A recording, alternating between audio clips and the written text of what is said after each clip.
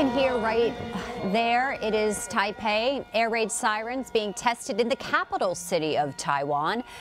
Also, joint air and sea military exercises were conducted on Monday. This is all a response to concerns over a forceful Chinese response if House Speaker Nancy Pelosi visits Taiwan this summer. And also, developing just moments ago, Bloomberg is reporting Pelosi's office official itinerary does not include a stop in Taiwan, but again, it could change closer to her August departure. A lot to get to, and joining us first now with the latest and what's happening is Taiwan is correspondent Keoni Everington, who is in Taipei. Keoni, what can you tell us about what you're seeing? Seeing there? Uh, well, there's a lot of activity. Actually, I would say this is possibly the most intense I've seen it since I've uh, lived here for the past eight years. Uh, because what we have is the air raids, uh, that you, air raid drills, air raid drills that you saw, uh, and that's going on the whole week.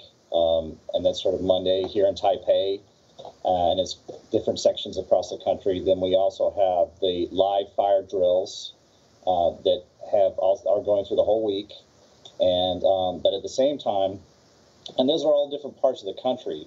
Uh, they, in the west side, that was when they were practicing with uh, retreating in case the air bases were hit, moving to the east. Uh, on uh, Tuesday, it was practicing on the east side if they were being attacked from the sea from the east. Uh, and today it was practicing from the island of Jingmen, firing artillery, and in the south, practicing with paratroopers. And um, and then at the same time, though, we're having the Chinese uh, doing their intrusions in the ADIZ in the southwest and south of the of the ADIZ area of Taiwan. And then there's been a there was a drone that flew to the off to the east coast of Taiwan, a Chinese drone. And then there was also uh, there's been multiple sightings of Chinese military ships off to the east uh, and southeast of the country. Um, so that's kind of close to where some of these exercises are going on. There's also been uh, U.S. naval ships, Japanese naval ships. Obviously, and, uh, uh it's it is obviously destabilizing, and like you said, more activity you've seen there um, in what is usually a very calm uh, area of Taipei. Uh, Keoni Everington, uh, live for us in Taiwan at this hour. Keep us posted. Thank you so much for that update.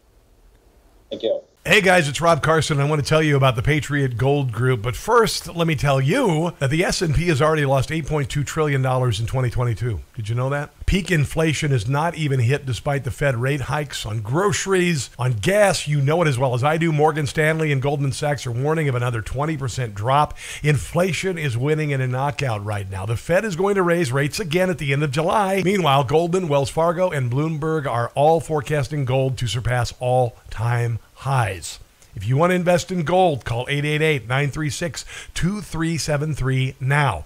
Call the Patriot Gold Group today and ask about their no fee for life IRA. Sounds like a good deal, don't it? Here's the number 888 936 2373. 888 936 2373 for the Patriot Gold Group.